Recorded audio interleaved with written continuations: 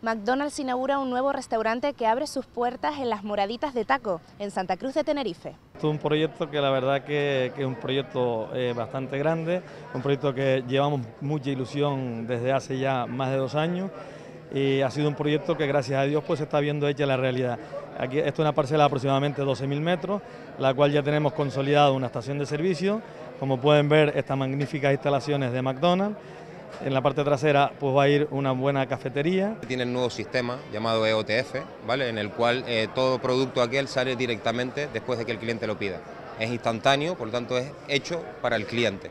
El cliente lo pide y sobre la marcha le sale para él. La última tecnología que existe en McDonald's, toda la maquinaria es la nueva todo, y todo funciona automáticamente y la verdad que es una auténtica maravilla tener, porque ya no solo eso, sino el ahorro eléctrico, el ahorro del consumo y todo eso pues beneficia a la sociedad en el fondo.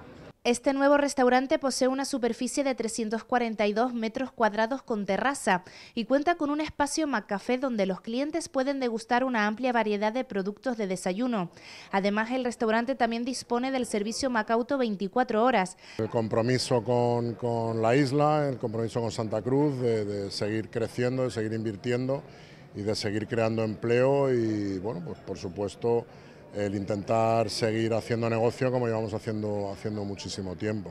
El primero que se instala con este tipo de decoración en, las islas y bueno, además vamos a abrir 24 horas, que también es, es, importante y os invitamos a que paséis, que veáis el Más Café, que veáis las instalaciones, si tenéis niños que salgáis al juego, que lo disfrutéis y que tenéis prisa y paséis con el coche, os atendemos también encantados y que estamos aquí las 24 horas a partir de ya para, para, que disfrutéis de todos nuestros productos. 46 personas trabajan en este McDonald's. Para nosotros, cada vez que abre una empresa, cada vez que abre un restaurante, un comercio en Santa Cruz, es la mejor noticia que nos pueden dar. Cuanto más inversión tengamos en la ciudad y más puestos de trabajo se creen, mucho mejor para nosotros.